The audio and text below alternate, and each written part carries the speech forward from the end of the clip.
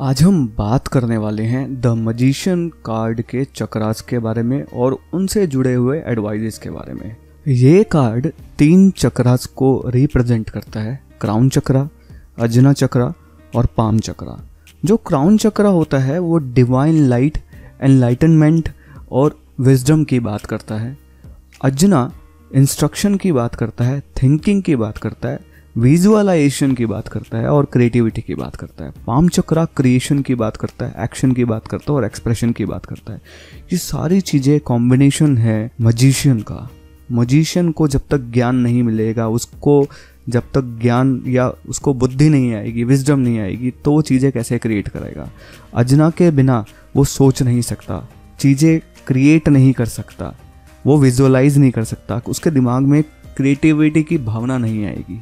उसके बाद पाम चक्रा की बात करें तो बिना क्रिएशन के वो अधूरा ही तो है, सारी चीज़ें इकट्ठी हो गई, अगर वो क्रिएट नहीं कर पा रहा तो वो एक्शन को रिप्रेजेंट करता है एक्सप्रेशन को रिप्रेजेंट करता है। अगर आपके साथ ये सारी कमियाँ चल रही हैं या इनमें से कोई भी कमी चल रही है तो कहीं ना कहीं तीनों चक्रास में कोई ना कोई इनएक्टिव है या चक्रा के वेब्स में कुछ गंदगी भरी हुई है या चक्रा क्लीन नहीं है तो कुछ भी आप रीज़न मान सकते हैं। तो इसको करने के लिए आपको क्या करना है?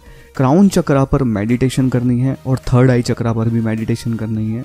और उसके बाद जब मेडिटेशन हो जाए, अपना जो हाथ है, उन हाथों को रब करके आपको ब्लेस करना है सबको। जो गरीब लोग हैं, जो अंडर प्रिविलेज लोग हैं, उनको आपको ब्लेस करना है। संसार को ब्लेसिंग देनी है तो कहीं ना कहीं आप स्पिरिचुअल तरीके से लोगों से जुड़ जाते हैं। उसके बाद गायत्री मंत्र का आप जाप कर सकते हैं। वो जाप जो आपको आपके गुरु ने दी है, वो भी आप कर सकते हैं। ज्ञान से रिलेटेड जाप या ज्ञान से रिलेटेड जो भी आपके धर्म में आपके देवी देवता या जिनको भी आप मानते हैं उनकी आप जाप कर सकते हैं। आपको स्पिरिचुअल बुक्स पढ़नी चाहिए। गुरु होते हैं ना आध्यात्मिक गुरु स्पिरिचुअल गुरु तो उनकी शरण में रहना चाहिए उनसे आपको मिलते जुलते रहना चाहिए उनसे एडवाइस और उनसे ब्लेसिंग्स लेते रहने चाहिए। तो आपको आप, आप, आप एक टीचर भी ढूंढ सकते हैं गुरु भी ढूंढ सकते हैं गाइड भी ढूंढ सकते हैं। आपको विनम्रता की साधना करनी है। आपकी जो प्रॉफिट है या आपकी जो इनकम है उसका दस परसेंट आपको दान देना है।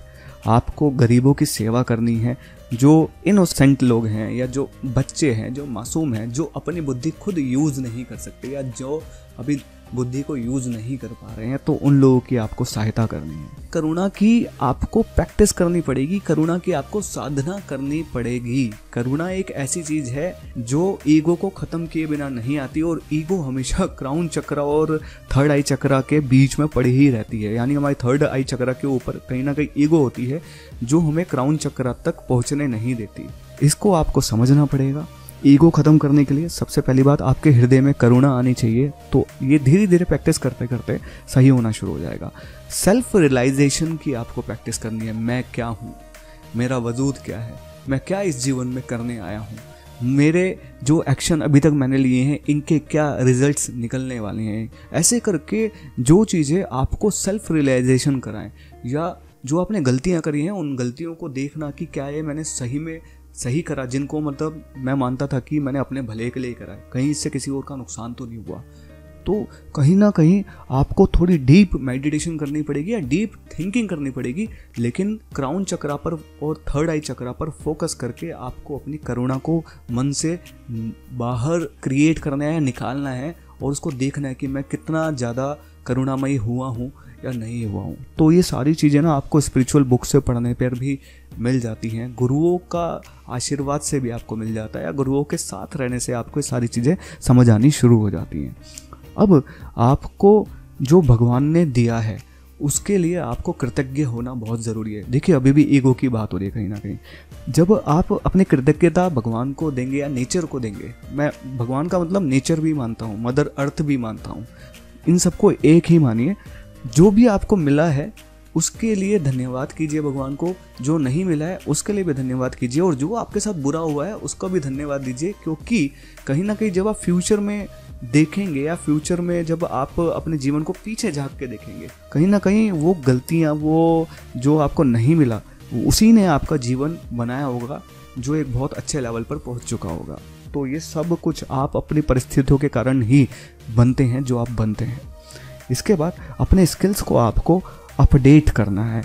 नई नई चीज़ें सीखिए और नए नए टास्क को अपने हाथ में लीजिए। इससे क्या होगा, आपका जो पाम चक्र है वो एक्टिवेट होगा, आपका थर्ड आई चक्र जो है एक्टिवेट होगा, आपके अंदर से डर बाहर निकलेगा और आप नई चीज़ें कर पाएँगे। देखिए, कभी भी अपनी क्रिएटिविटी को छोड़िए मत। अपने स्किल्स को हमेशा अपडेट करते रहेंगे तो आप जमाने के साथ चल सकते हैं, नहीं तो आप पीछे रह जाएँगे। मैंने पिछले वीडियोस में बोला था आपको, रुका हुआ पानी और रुका हुआ इंसान सड़ जाता है, उसमें कीड़े पड़ जाते हैं। इस चीज़ का हमेशा ध्यान रखना। अपने हाथों से गरीबों की सेवा कीजिए, उनको खाना दीजिए जितना ज़्यादा हो सकता है सेल्फ सर्विस करके आपको लोगों की सेवा करनी है। इससे आपको काफ़ी फ़ायदा पहुँचने वाला है। अपने हाथों से जितने ज़्यादा हो सकता है, उतने ज़्यादा पेड़ उगाइए। औरों को भी प्रोत्साहित कीजिए कि आपको और पेड़ उगाने हैं। तो आप एक बहुत बड़ी टीम बनाने की कोशिश कीजिए और मदर अर्थ को कहीं ना कहीं ग्रेटिट्यूड दीजिए कि आपको एक इंसान बनाया और एक इंसान ही है जो पेड़ बो सकता है। वैसे ये काम जानवर भी कर सकता है, बीज डाल के, लेकिन उसके कर्मा में वो चीज़ें नहीं जुड़ती, लेकिन आप मदर अर्थ की हेल्प के लिए, मदर अर्थ ने आपको जीवन दिया है, उसको ग्रेटिट्यूड देने के लिए आपको मदर अर्थ की भी हेल्प करनी पड़ेगी और वो पेड़ बोके भी हो सकती है, नदियाँ साफ़ करके भी हो सकती है। तो जो भी रीज़न जिससे आप, आपको लगता है कि शायद आप मदर अर्थ को हेल्प कर सकते हैं नेचर को हेल्प कर सकते हैं, वो सारे काम कीजिए। तो आपके चक्राज में आपको काफ़ी फ़र्क महसूस होगा। और मेडिटेशन तो हर चीज़ का इलाज है ही, लेकिन केवल मेडिटेशन से कुछ नहीं होता। ये दोनों चीज़ें एक साथ बहुत ज़रूरी है।